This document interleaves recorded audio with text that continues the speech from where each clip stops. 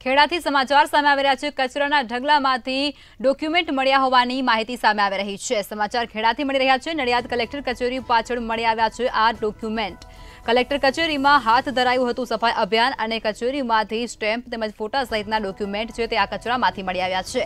ચૂંટણી અધિકારીના સ્ટેમ્પના સિક્કા પણ કચરામાંથી મળી આવ્યા છે. ચૂંટણી અને પુરવઠા વિભાગના મહત્વના દસ્તાવેજ છે તેઓ પણ આ કચરાના ઢગલામાંથી મળી આવ્યા છે અને એક આધાર કાર્ડ સહિત પાસપોર્ટ સાઇઝના ફોટા પણ ત્યાંથી મળી આવ્યા છે.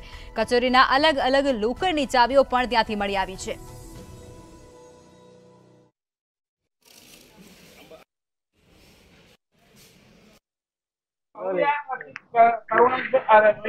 ખેડા જિલ્લા નડિયાદ કલેક્ટર કચેરી ખાતે હાલ સાફ સફાઈ ચાલી રહી છે. આ સાફ સફાઈમાં તમે જોઈ રહ્યા છો, કચરાના ઢગલા જોવા મળી રહ્યા છે.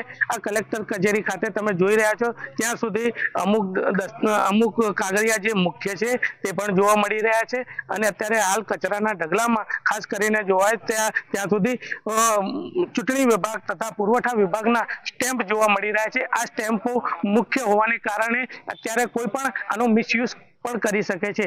જેને લઈને હાલ કલેક્ટર કચેરી ખાતે દોડધામ મચી જવા પામી છે અને હાલ જોવાનું રહ્યું કે કલેક્ટર હવે આ બાબતે કેવા પગલાં લેશે. ખેડાથી મંતવ્ય ન્યૂઝ ભાવેશ શર્મા. સમાચાર ખેડાથી સામે આવી રહ્યા છે. કચરાના ઢગલામાંથી મહત્વના ડોક્યુમેન્ટ મળી આવ્યા હોવાની ઘટના બની છે.